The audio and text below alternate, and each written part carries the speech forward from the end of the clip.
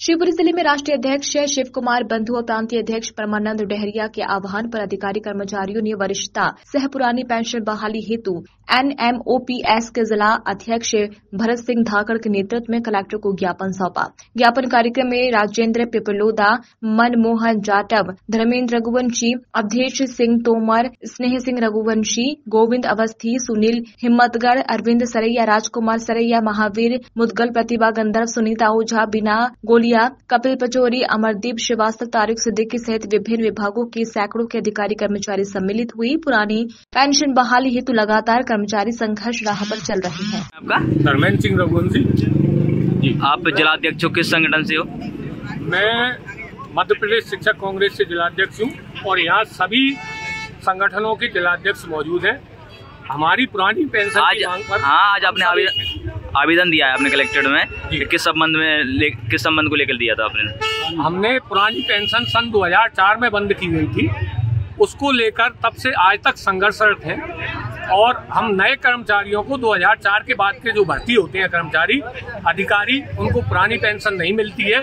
हम तभी से पुरानी पेंशन के लिए संघर्षशील हैं और हमारा संघर्ष यहाँ तक पहुँच गया है कि सरकार से हमें पूरी उम्मीद है कि हमें पुरानी पेंशन निश्चित रूप से बहाल करेगी। हम्म, अगर नहीं होती तो आगे क्या कदम रहेगा आपका? नहीं होती है तो हम और ज़्यादा उग्र आंदोलन करेंगे और दिल्ली रामलीला मैदान पर जाकर अनशन करेंगे। पुरानी पेंशन हम बहाल करवा कर ही रहेंगे हम जो हमारे प्रतिनिधियों को चुनते हैं माननीयों को चुनते हैं जिनको हम वोट देते हैं उनको एक नहीं तीन तीन पुरानी पेंशन मिलती है।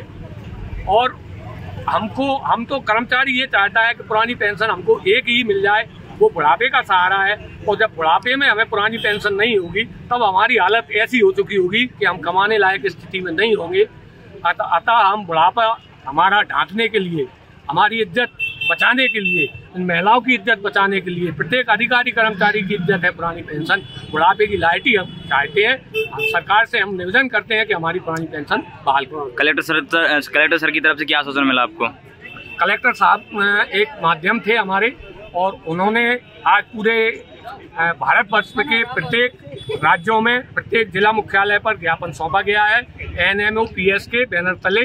कलेक्टर साहब को हमने यहाँ भी उसी तारतम्य ज्ञापन दिया है और वो हमारा ज्ञापन माननीय प्रधानमंत्री जी तक भेजेंगे।